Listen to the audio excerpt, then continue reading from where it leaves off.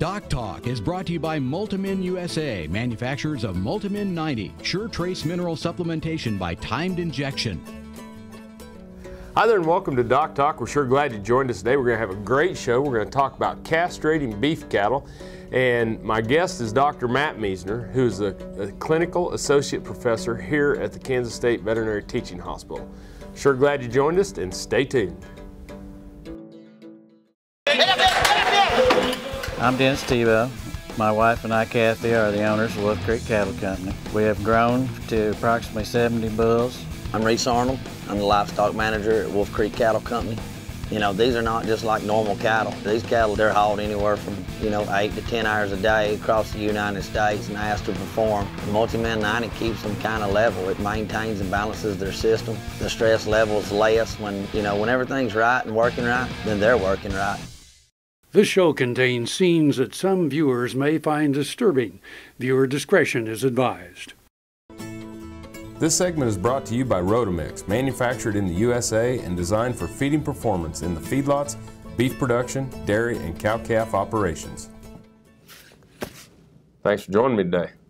Glad to be here. It's always good to have you, Matthew. Uh, folks, this is Dr. Matt Miesner. He is a clinical associate professor here at the uh, Veterinary Health Center at Kansas State University. You're boarded in food animal medicine and surgery? Internal medicine. Internal medicine. And it's always a pleasure to have you here on the show. And today we're talking about something that we do routinely in the beef industry, but it's always a topic of discussion, and that's castrating beef calves. Right. One of those, I guess, uh, procedures that has to be done and has been done for decades, if not centuries, but uh, for many reasons, but still comes up as a as a topic of how can we do it better, how can we prevent certain complications, and uh, even to the point does it really need to be done. So yeah, it's one of those procedures that just stands the test of time, but is is a necessary uh, thing as far as uh, production in veterinary medicine as well. So people think of it sometimes as something that's routine, it's easy, but man, when you start to think about the geographical location and age of the animals and the expertise of the people doing it and the facilities, and it can get a little bit complex. Right. Yeah. I mean, and it's a procedure that's done by a wide range of people. I mean, yeah. Uh, from the layperson to the experienced producer to the veterinarian, and um, and everybody has their own skill level, you know, and and, uh, and it just it's just one of those things that it's just a uh, it's just a a constant a constant topic and, uh, and a good thing to talk about. It, it needs to be talked about. So. Yep. Well, let's start out with timing because I think that's the first thing is when do we need to be castrating these calves? Sure. And, and uh, you know, regardless of whatever method we use, I think the bottom line is anytime we can do it early, swift, and efficiently, um, that's that's the whatever technique is used, that's that's when we need to do it. And uh, it's it's easier on the animal, it's easier on us, and there's a lot less complications that can arise.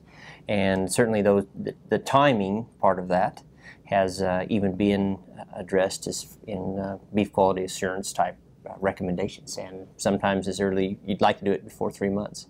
And uh, calves are, are small, testicles are small, blood vessels are small.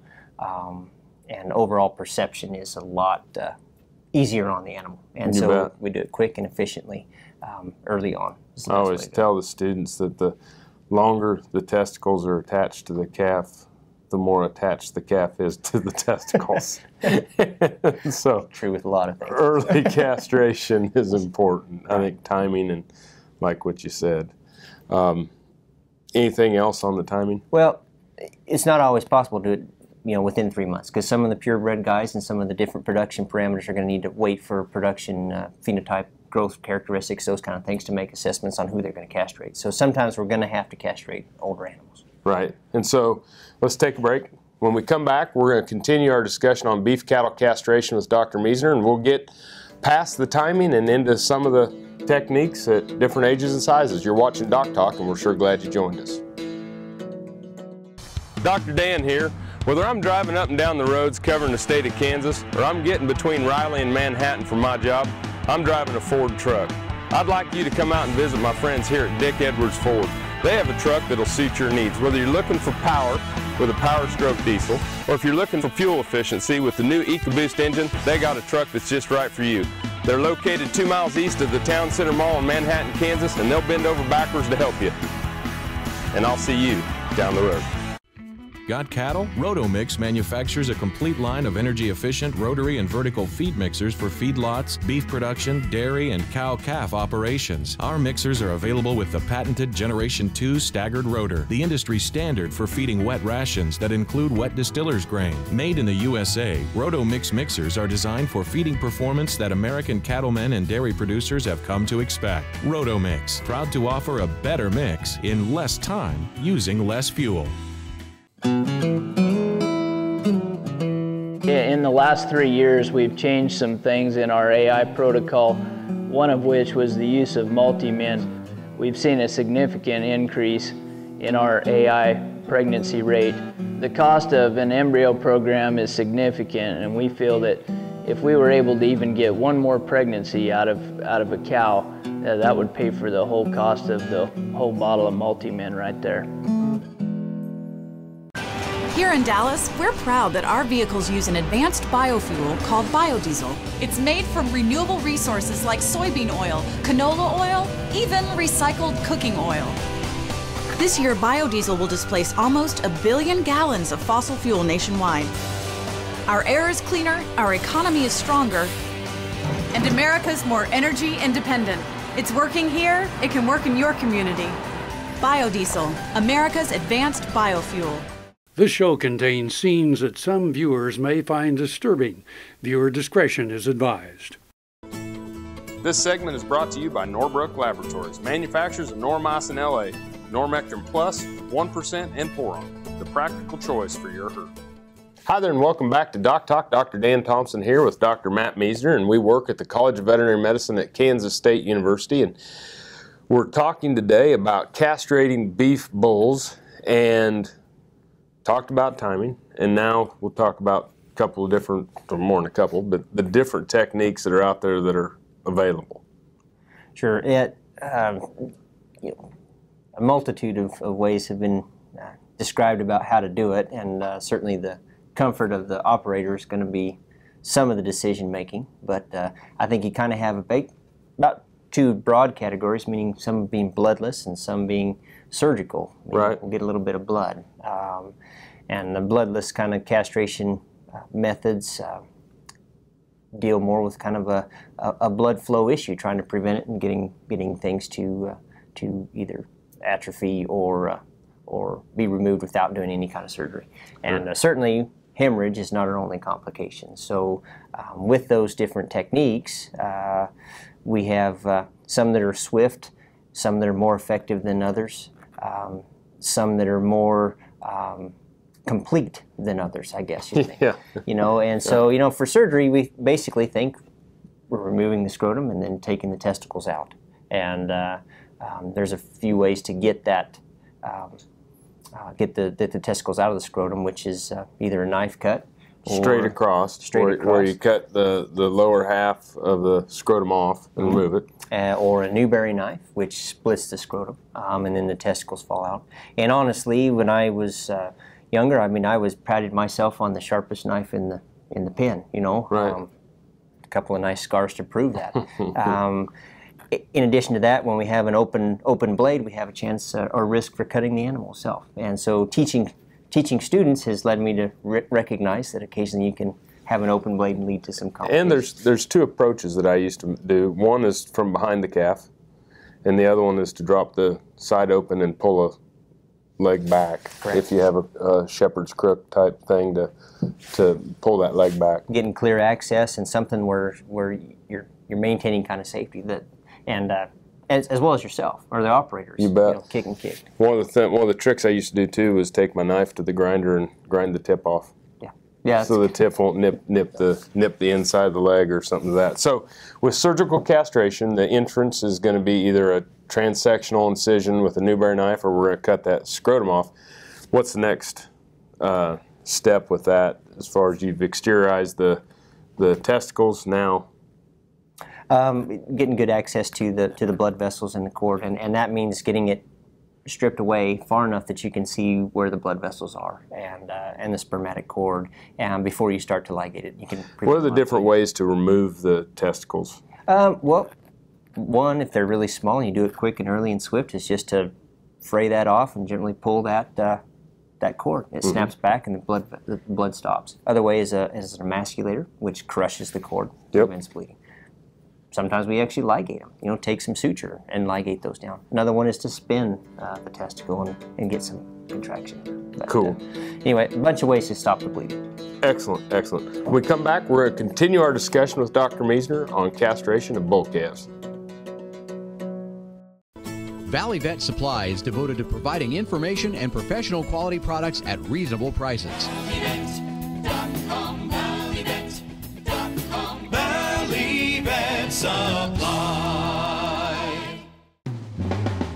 I'm Kevin Ochsner, host of NCBA's Cattleman to Cattleman and Colorado Rancher. Join me each week as the National Cattlemen's Beef Association brings you the latest updates in industry information and market news. Plus, each week we provide important educational information and features on cattlemen from across the country just like you. And we can't forget our favorite cowboy poet, Baxter Black. Join me for NCBA's Cattleman to Cattleman, debuting Tuesday nights at 8.30 Eastern, right here on RFD TV. Beef producers need a practical choice when antibiotic therapy is required. More than ever, they are reaching for non prescription Noromycin 300 LA from Norbrook, specially formulated to produce sustained antibiotic blood levels up to four days in cattle. Noromycin 300 LA delivers economic, broad spectrum disease management for pneumonia, shipping fever, pink eye, wound infections, and foot rot. See for yourself why Norbrook's Noromycin 300 LA is the practical choice for your herd. Got cattle? Rotomix manufactures a complete line of energy efficient rotary and vertical feed mixers for feedlots, beef production, dairy, and cow calf operations. Our mixers are available with the patented Generation 2 staggered rotor, the industry standard for feeding wet rations that include wet distiller's grain. Made in the USA, Rotomix mixers are designed for feeding performance that American cattlemen and dairy producers have come to expect. Rotomix, proud to offer a better mix in less time using less fuel. Join the team, the Beef Quality Assurance Team. Getting BQA certified shows you're committed to practices that produce the highest quality beef in the world. And by visiting BQA.org, you can take the online certification course at a time that fits your schedule and from the comfort of your home or office. You'll also find lots of helpful tips on improving animal health and animal handling practices. Get certified, BQA certified, because it's about doing the right thing. Visit BQA.org today and become a member of the BQA team. This show contains scenes that some viewers may find disturbing. Viewer discretion is advised. This segment was brought to you by Brute Cattle Equipment, makers of the Brute Stealth Hydraulic Chute. If the chute fits, swear by it. Visit our website for more information. Welcome back to Doc Talk, folks. This is Dr. Dan Thompson. I'm joined by Dr. Matt Miesner. And Matt is a clinical associate professor of the Veterinary uh, Health Center here at Kansas State University. He's uh, boarded in internal medicine, and we're talking about castrating bull calves. And our last segment, we discussed surgical castration. And now let's talk about some of the bloodless castration techniques, specifically banding. Yeah, yeah, and there's several ways to do that, and basically we're attaching a really tight ligature around the scrotum, being a rubber band or a, or uh, some surgical tubing for larger bulls, Right. um, that will stop blood flow to the entire scrotum and testicles. Um, in which case, then the body kind of walls that off, and the uh, the scrotum and testicles just fall off, you know, or atrophy, and and that would be the case with with more of a crush type technique. But the banding uh, techniques, uh, we have different sizes of, of bands that uh, um, need to be tailored to the size of animal you've got, and uh, you know if if you don't get that band tight enough, uh, you won't get the effect you need, and Right. uh, and then you get into some major kind of issues, complications that can arise. Yeah, when when we're talking about um, castration, and, and I'll throw you a little bit of a of a curveball, but when we're we're talking about recommendations for uh, controlling pain in these techniques, what are some of the practices that we do or can do to prevent pain during surgical castration or, or Hu- yeah, huge. I mean, that's a huge issue um, and a huge topic, and, and something that should be addressed anytime we can. And one, we can limit some of the acute kind of sharp pain that we can get just with some local anesthetics, some lidocaine, just like you'd get from any type of wound you get to get Right. sutured up. And so we can do that, and that stops some of that. But then we have some after effects. There's going to be some pain that arises after the procedure. Banding and those kind of things will result in, from every bit of most of the work that we see, is going to be a longer duration. So we need some anti-inflammatories after that. Because the uh, pain with those is not immediate; it, it's more delayed, two to three weeks, and Yeah. and the scrotum and testicles fall off at 21 to 28 days. Right. So maybe some longer term analgesic. Um, as the animal gets bigger, this becomes more of an issue. Absolutely. yeah. So again, it gets back to the timing. Correct. You know, the longer the longer it takes for the overall effect to take effect, the longer that we're going to have for the for the pain. I mean, the Burdizzo type things where a crushing issue would be acute pain with a with a longer kind of duration for that to fall off. But we have to address that, yeah, acutely as well as as well as what's going on. So, it's, like I say, a surgical thing usually is quick and over, um, and uh, a little less. So maybe more of the acute pain control with the surgical castration, long-term pain control. Look at that with the using the, the banding or the crushing type techniques. Absolutely, yeah. And uh, and still a lot of debate and a lot of science left to do on this. It's a difficult science, and uh, to really just to, to really quantify it, you know. You bet. And uh, but a lot of people smarter than me have figured, trying to figure that out. That's great. Well, we always want to do what we can to control the pain and and uh, make the right decisions. When we come back from break, we're going to wrap up with Dr. Miesner. We're going to talk about some of the complications that can occur with castrating bull calves. You're watching Doc Talk, and we're sure glad you joined us. This segment is brought to you by Lallemand Animal Nutrition, dedicated to the development and production of natural and differential solutions for animal nutrition. And by the Graham School for Cattlemen, with over 100 years of continuous service to the cattle industry. To find out more, visit us online at grahamschool.com. A shortage of forage from both a quality and quantity standpoint is something on the minds of most cow calf producers. At a cow calf seminar hosted by Kansas State University's College of Veterinary Medicine, K State veterinarian Dr. Bob Larson talked to producers about supplementing cows on moderate to poor quality winter forage. a lot of these options, forage wise, are relatively poor quality. In other words, not real high digestibility, maybe lower in protein than, than what they're used to feeding. And then we supplement that. And a lot of the supplements that are available are, are byproducts from processing, such as distiller's grain, corn gluten, soy products, wheat mids, whatever is most cost effective in a local area become the basis of the, the supplements that we use. With Ag AM in Kansas, I'm Devin Stewart. The Kansas State University College of Veterinary Medicine is a leader in food animal research and education. Our researchers are constantly expanding the knowledge of animal health and food safety. Through the Veterinary Health Center and the Kansas State Veterinary Diagnostic Lab, we provide practical services for animal producers. Home of the Beef Cattle Institute, the college is committed to animal welfare training and research. The Kansas State University College of Veterinary Medicine, knowledge and service for the future of animal production. Cow calf, stocker, and feedlot producers know that effective parasite control improves overall herd performance and profitability. Norbrook offers a comprehensive, economical line of pour-on and injectable parasiticides for every livestock operation. Consult with your local animal health supplier to set up a program that protects your investment and brings larger cattle checks this fall. See for yourself why the Noromectin line from Norbrook is the practical choice for your herd. This show contains scenes that some viewers may find disturbing. Viewer discretion is advised. This segment is brought to you by Double D Family Mat Shop. Injured livestock could mean injured profits. Protect yours with no slip mats from Double D Family Mat Shop. Welcome back to Doc Talk. I'm Dr. Dan Thompson here with Dr. Matt Miesner. Dr. Miesner is a boarded internal medicine specialist and a clinical associate professor here at the Veterinary Health Center at Kansas State University. We're discussing castrating bulls. And we've talked about do it early, surgical castration, bloodless castration, pain control. Now, not everything goes exactly the right way every time we do it.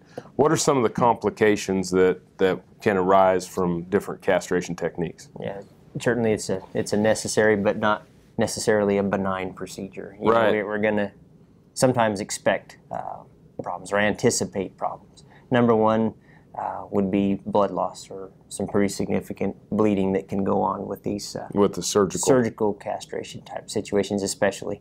Um, and uh, usually after we get done with these, we're gonna we're gonna watch the animal in the chute and then monitor them in the pen after we're done um, and look for a steady stream of blood or drip of blood. We can try to prevent that with some crush type techniques.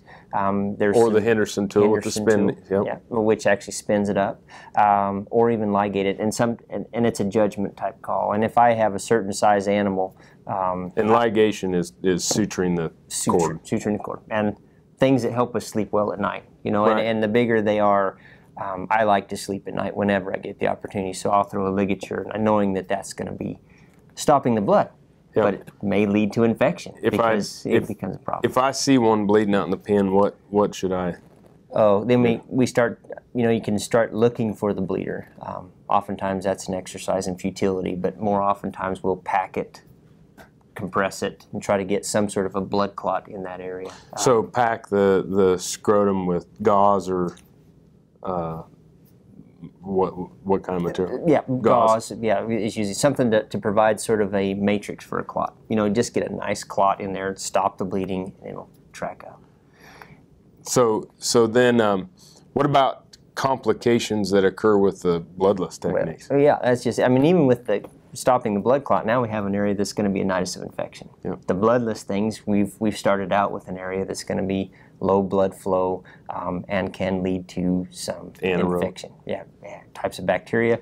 Probably being tetanus would be the biggest one. I mean, I think that um, surgical castration, doing a lot of those. One year when I was younger, we tried to ban a few calves, and I think we had a, uh, you know, a decent percentage of those that ended up with tetanus. And probably it was cleanliness, you know, mm-hmm. learning about being clean in an environment that's going to limit that. But um, certainly tetanus is a risk, and so Make we try sure. to prevent that. Make sure we vaccinate with a tetanus toxoid. Yep, almost always. It's nice to have them have a toxoid on board before we do anything like that. And and that'd be with most any of your eight-way type clostridial yeah. and, vaccines. Yep, and you're you're setting up an area which gets low blood oxygen that leads to tetanus, kind of an issue. So, well, problem. Um, appreciate everything you've done. Appreciate you being on the show today. Appreciate being here. It's, it's always good to have you. Remember, always work with your local practitioner. If you want to know more about what Dr. Miesner and I do here at Kansas State University, you can find us on the web at www.vet.ksu.edu. I'm Dr. Dan Thompson. You've been watching Doc Talk today. We're sure glad you joined us, and I'll see you down the road.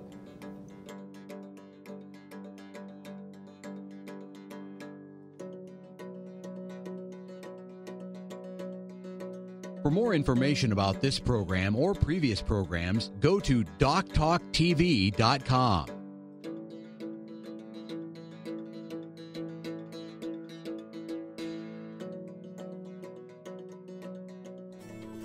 Doc Talk was brought to you by Multimin USA, manufacturers of Multimin 90, sure trace mineral supplementation by timed injection, as a manager of grazing beef cows, the thing that's always bothered me about standard trace mineral supplements is that we, uh, we put them out for the animals to consume, but there is no guarantee that the animals will consume them in the right amounts.